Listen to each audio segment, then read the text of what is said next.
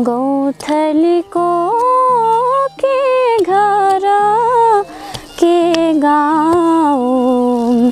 दुखियाको के थर के नाउँ? कोइलीको आवाजलाई मापन गर्ने मेसिन भइदिएको भए त्यो आवाजलाई पनि टक्कर दिन सक्थ्यो होला। विकट गाउँमा जन्मिएर हुर्किँदै गरेको यो सुरिलो आवाजले घर दिन दस वर वर हो दिन दस वर वर साथी सङ्गी पर न्याउलेको स्थापित भइसकेको कुनै कलाकारको भन्दा के कम छ र यो आवाजमा तिम्रो साथले के मातले के मामा भुले भुले के मामा भुले न त राज्यले चिन्न सक्यो न त कुनै मूलधारको मिडियाले नै देख्न सक्यो। त्यसैले त आजसम्म पनि गुमनाम गुमनाम जस्तै बनिरहेका छन्। दुनियाँलाई मनमोहक पार्ने यी आवाजहरू।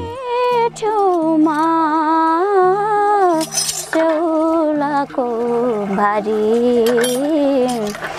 खाली घोडा के गरौँ बाटो लेक बेस गर्ने कुनै नारी भेटौँ भने चिन्नु सोरे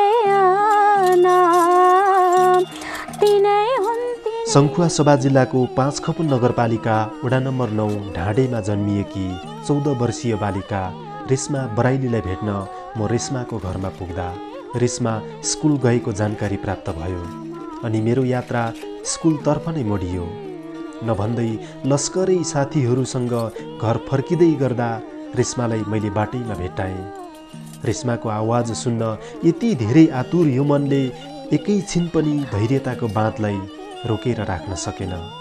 छोटो परिचयपछि नजिकै रहेको वडा कार्यालयको छतमा बसेर हामी रेस्माको आवाजले सजिएका गीतहरूसँगै मन्त्रमुग्ध भएर सुन्न थाल्यौँ। डर लागिरहेछ हो? मैले कता कता टिकटकतिर फेसबुकतिर देखिरहेको थिएँ। बहिनीको आवाज असाध्यै मन परेको हुनाले आज म भोजपुरदेखि धाएर सङ्खुवासभा आएको छु। गीत कहिलेदेखि गाउन थाल्नुभयो? म छ क्लासमा पढ्दा साथीहरूले गाउँ कि गाउँ भनेर त्यतिकै गाउन थालेको थिएँ अनि त्यहाँदेखि।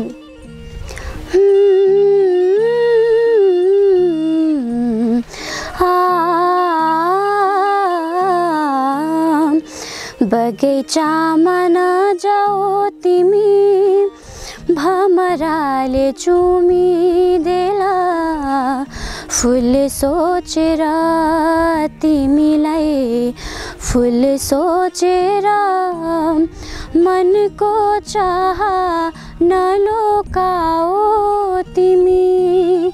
भमरालाई दोजिएर काठै भमरालाई दोजिएर थ्याङ्क यू कसको यो गीत? थाहा छैन? प्रतियोगिताहरूमा पनि स्कुलमा कहिलेकाहीँ भाग लिन्छ कहिलेदेखि लिन थालेको? सरस्वती पूजा। यसै पालदेखि मात्रै? त्योभन्दा अगाडि चाहिँ प्रतियोगिताहरूमा भाग लिइन्थेन। हुन्थेन स्कुलमा पनि त्यही भएर। ए अनि गीत गाउनको लागि सिक्न समय चाहिँ कसरी म्यानेज गरिन्छ? अब कस्तो बेला चाहिँ बढी गीत गाउन प्र्याक्टिस गरिन्छ? त्यो हुन्छ नि अब एक्लै गुनगुनाउने कस्तो बेला चाहिँ बढी हुन्छ? घाँस काट्नु जाँदा खाना तरकारी पकाउँदा त्यति। ए अनि घरमा मम्मी बुवाले के भन्नुहुन्छ? राम्रो छ भन्नुहुन्छ। गीत गाउने कुरामा उहाँहरूले गीत नगा गाएर केही हुन्न भन्ने कुरो गर्नुहुन्न? अँ भन्नु न त्यस्तो ल अर्को गीत सुनौ त एउटा। चौतारीमा बसेर रुन पाऊँ। मनको पीडा सुनि धुन पाऊँ।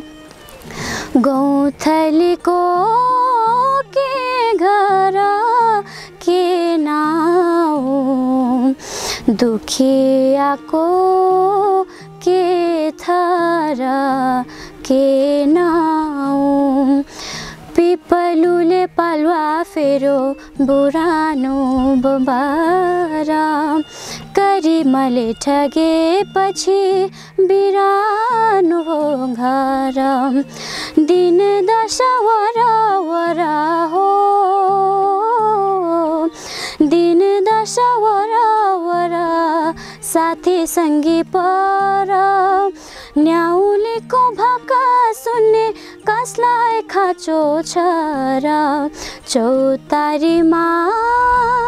गीत मेरो मामाले गाउनु भएको थियो त्यही भएर त्यही आफ्नै मामाले? हजुर। मामा पनि राम्रो गीत गाउनुहुन्छ?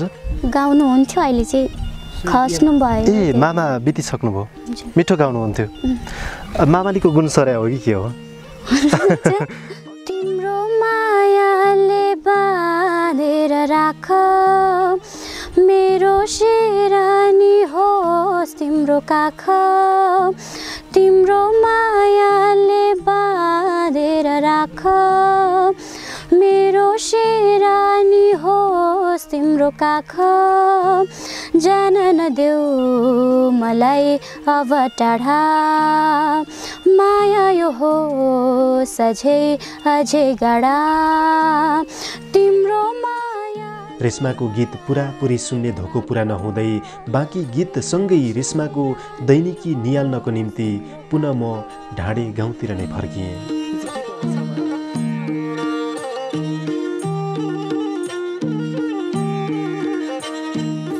नजरमा तिम्रा हजारौँ रहेछन्। नजरमा तिम्रा हजारौँ रहेछन्। म एउटाको त के कुरा भयो र मेरो जस्तो माया हजारौँको रहेछ हो। मेरो जस्तो माया हजारौँको रहेछ मेरो मायाको त के कुरा भयो र नजरमा तिम्रा हजारौँ रहेछन्। ड्युटी सक्यो तिम्रो? सक्यो। स्कुलबाट आइपुगेपछि हो यो ड्युटी चाहिँ? हजुर। कसले काटेको घाँस चाहिँ? ड्याडी। ए ड्याडीले काटेको हो? हजुर। मैले त्यही भएर भनेको हो नि त कान्छी छोरी पुल पुलेको हुन्छ भनेर त।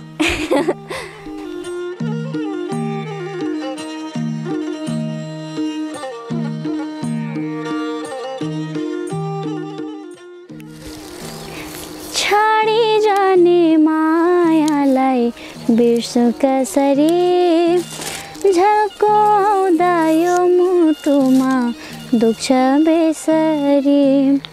तिम्रै यादमा तर्पी तर्पी बाँचिराख्या छु। छुट्ने बेला दिएको रुमाल साँचिराख्या छु। रुमाल चिनो छ रुमाल चिनो छ मायाको सम्झना फिर्ता दिनु छ। मायाको सम्झना फिर्ता दिनु छ। किन छोड्यो बिचैमा जवाफ लिनु छ? भयो? के को लागि रे त्यो चाहिँ बेच्ने हो? बेच्ने त होइन होला। तल गाउँ-। ए गाउँघरमा है ऐचो पैँचो? ल ठिक छ। अनि हरिहरू टिप्यौ त? हरे मिठो हुन्छ त्यही भएर। ए।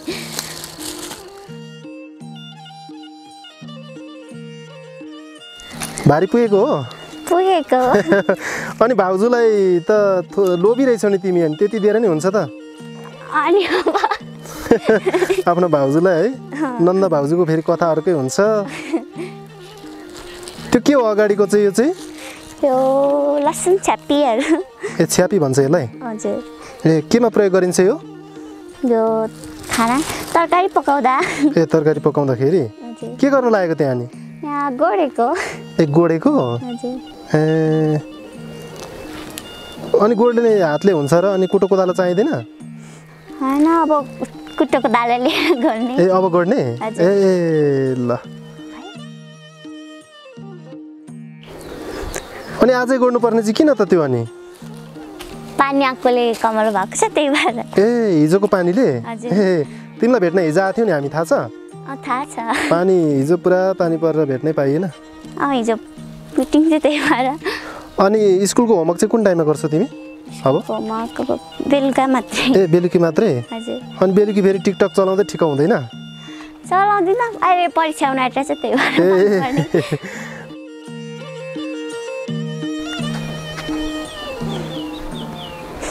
छ्यापी गोड्नलाई हो ए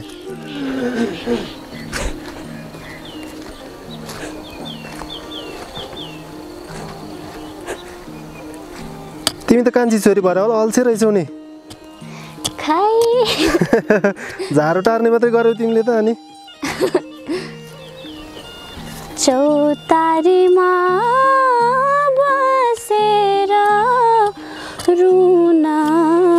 पाऊँ मनको पीडा सुनि धुन पाऊँ। गौथलीको के घर के गाउँ दुखियाको के थर के नाउँ पिपलुले पालुवा फेरो बिरानो बबरा। करिमले ठगेपछि बिरानो घर। दिन दशा वरा वरा हो। दिन वरा वरा साथी सङ्गी पर। न्याउलीको भाका सुन्ने कसलाई खाँचो छ र चौतारीमा डाँडामाथि चौतारीको ढलो एक्लै सक्यो है मेलो? सक्यो। मैले कान्छी छोरी पुल पुलिएको भनेको होइन रहेछ त्यत्रो मैले एकैचोटि एकैछिनमा सक्यो। के काम गर्ने अब?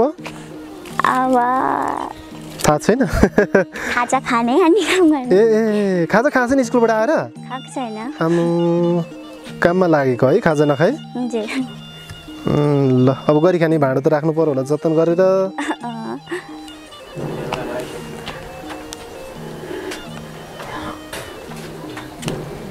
अनि यस्तो राम्रो गीत गाउने मान्छेको दाइ चाहिँ कति कस्तो गाउनुहुन्छ दादाले पनि गीत त राम्रै गाउनुहुन्छ अलिक स्वर घुमाउन जान्नु।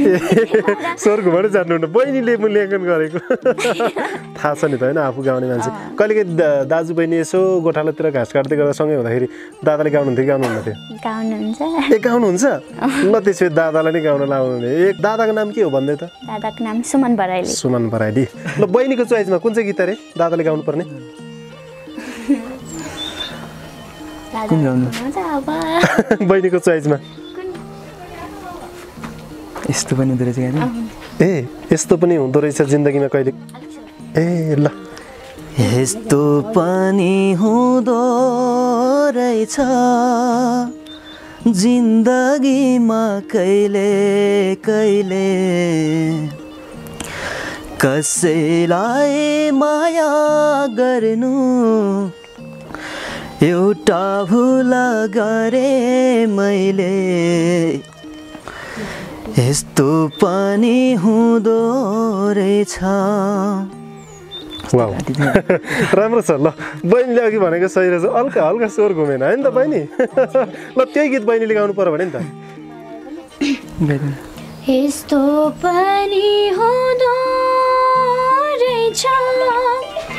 जिन्दगीमा कहिले कहिले कसैलाई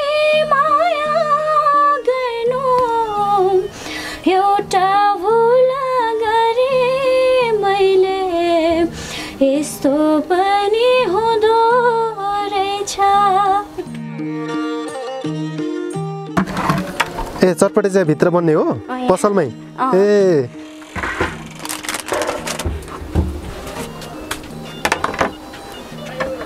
अनि अघि बारीमा चाहिँ कति राम्रो प्याज गोडेर बजारको प्याज खाने चटपटेमा चाहिँ यो चाहिँ भएन है स्कुलमा सरहरूले त्यही सिकाउनुहुन्छ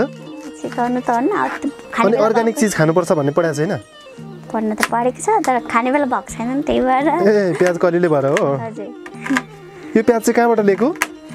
यो प्याज वनाबाट। ए ए। महँगो पर्दो है। महँगो पर्छ। कसरी म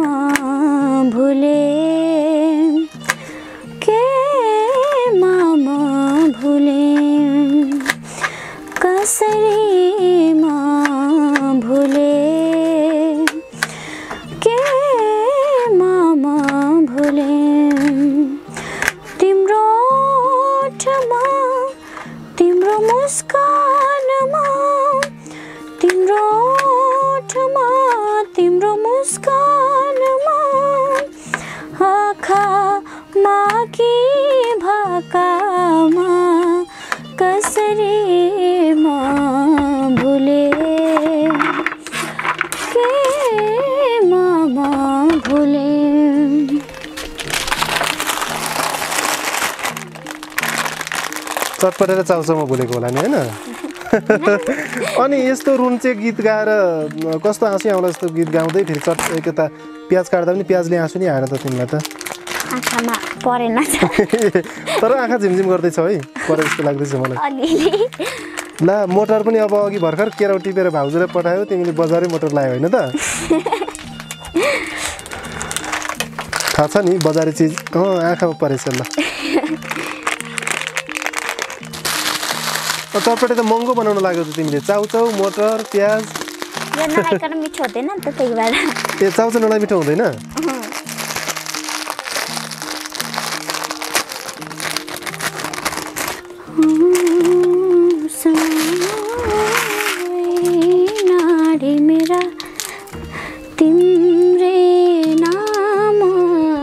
दिन रात चल्छ। उठाऊ मेरा घुम्टोहरू तिम्रे मुहार हेर्न चञ्चल छन्। मनै मनमा माया तिन पाते भइदियो मेरो रस रङ्ग सबै तिमीतिरै गइदियो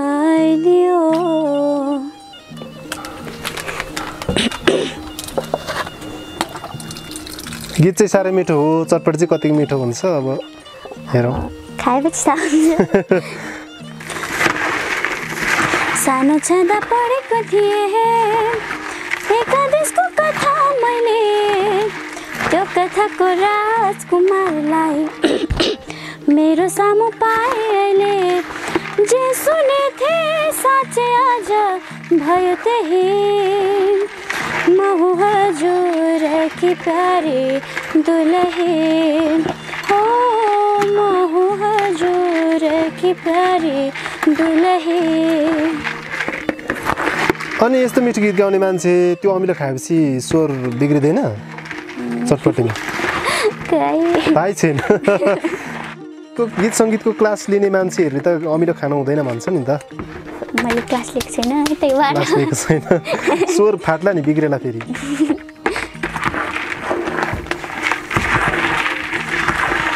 खै अब तिम्रो चटपटी त बन्यो ग्राहक देखिँदैन कसलाई दिने हो पनि। यो चाहिँ घरमै खाने। खाने मान्छे छैन। खाने मान्छे भित्र हुनुहुन्छ।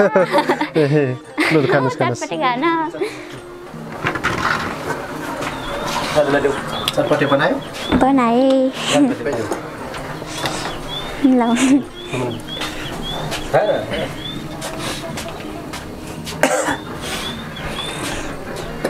तपाईँ त अनि आफैमा शिक्षक हुनुहुँदो रहेछ होइन? हजुर, हजुर। प्रिन्सिपल हुनुहुन्छ अरे हजुर हजुर। प्रिन्सिपल पनि हो।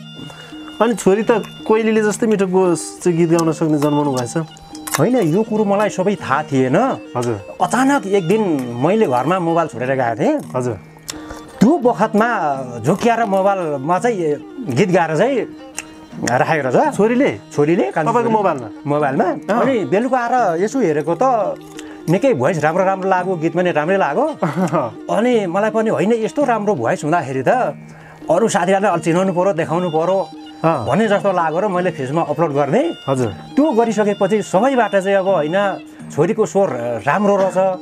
अर्को पनि गीत अब गाएर चाहिँ अब गाउन लाएर चाहिँ अपलोड गरिदिनु पऱ्यो भनेर धेरै ले भन्नुभयो र। फेरि अर्को गीत गाउन लाएर पनि मैले अपलोड गरेको थिएँ गीत सङ्गीतलाई पनि अगाडि बढाउँदै पढाइलाई पनि अहिले लाँदै होइन? दुवै दुवैलाई मिलाएर लान सक्यो भने म फुल्ली सपोर्ट दिन सक्छु। तर पढाइलाई पनि प्राथमिकता दिनु हजुर। र गीत सङ्गीतलाई पनि अब प्राथमिकता दिँदै लानु पर्यो। तर गीत सङ्गीतै मात्रै अब भयो भने चाहिँ अब भएन पढाइलाई फेरि अब ब्याग हुनसक्छ त्यसले गर्दाखेरि दुइटैलाई मिलाउँदै लग्यो भने म फुल्ली सपोर्ट दिन सक्छु। अब हिजो अस्तिसम्म फल्नाको छोरी भनेर उसलाई चिन्ने समाजले अब फेरि फल्नाको बुवा भनेर तपाईँलाई चाहिँ अब सबैले चिन्ने भयो कि? जस्तै यो भिडियो हेर्दै गर्दा त छोरीले गर्दा बाबुको चाहिँ परिचय? छोरीको। परिचयले। जोडिएर आउनुभयो नि त। अब कान्छी छोरीको कामै भाँडा माझ्ने रहेछ। चटपटे खायो नि भाँडा माझ्ने। खाना खाएको भाँडा। पाहुना धेरै आउनु पर्ने रहेछ।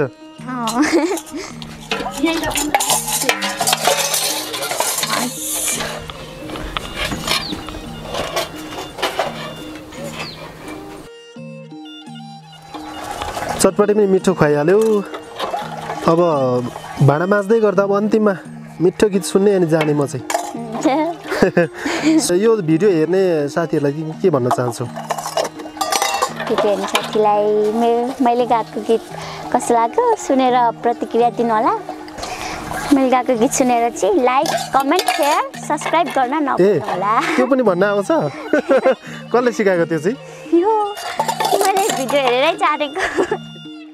स्कुल जाँदा पढेको थिएँ। वायु पङ्खी घोडा चढाए। लैजान्छ रे रात कुमारले। म देखिने चोरी मलाई जे पढे थिए साँच्चै आज भयो त्यही। म हजुर की प्यारी दुलही। हो म हजुर की प्यारी वायुपङ्खी घोडाको कथा पनि आउँदो रहेछ है? अब चौध वर्ष भर्खर पुग्दो रहेछ वायुपङ्खी घोडा चाहिँ चढ्नु हुँदैन है फेरि? बाल विवाहमा परिन्छ नि। ल अब परिवारमा बाबाहरूले पनि आमाहरूले पनि कति धेरै सपोर्ट गर्नुहुँदो रहेछ। बाबा आमाको लागि कुनै एउटा स्पेसल गीत यसो आमासँग सम्बन्धित गीतहरू आउँछ कुनै होइन छिमेकला हे आमा म छोरी होइन र मेरो माया तिमीलाई लाग्दैन र। त्यति नै? पेटुमा स्याउलाको भारी खाली घोडा के गरौँ? बाटो पेटुमा स्याउलाको भारी खाली घोडा के गरौँ बाटो लेख बेसी गर्ने कुनै नारी भेटौँ भने चिन्नु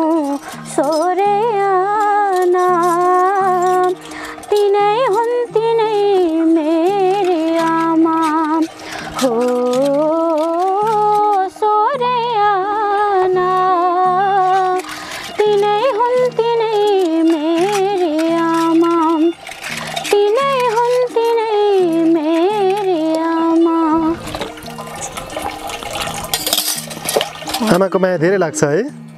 धेरै। यो संसारमा सबैभन्दा आमा जतिको महत्त्वपूर्ण अरू केही हुँदैन रे नि त। मैले यो भिडियो सम्पादनको काम गर्दै गर्दा केही अग्रजहरूबाट सकारात्मक प्रतिक्रियासँगै वचनबद्धताहरू पनि प्राप्त गरेको छु। आशा छ रेशमा बहिनीको यो कर्णप्रिय आवाजले एक दिन दुनियाँको मन जित्नेछ र गायिका बन्ने सपना पनि साकार हुनेछ।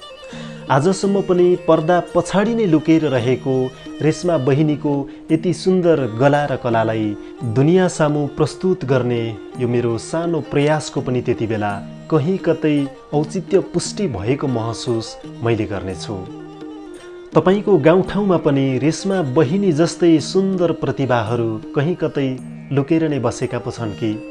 त्यस्ता प्रतिभाहरूलाई पर्दा अगाडिसम्म ल्याउनको निम्ति तपाईँले हामीलाई अन्ठानब्बे चार बिस त्रिचालिस चार सय चालिस र अन्ठानब्बे सत्र पैँतिस पैँतालिस उन्नाइसमा सम्पर्क गर्न सक्नुहुनेछ। रेशमा बराइलीको यो सुन्दर गला र कला सँगसँगै आजको श्रृङ्खलाबाट भने हामी आगे चाहन्छौँ। अर्को भिडियोमा तपाईँ हाम्रो भेट हुनेछ। तबसम्मको लागि हाम्रो अफिसियल युट्युब च्यानल पर्दा पछाडिलाई फलो गर्दै गर्नुहोला। हस् नमस्कार।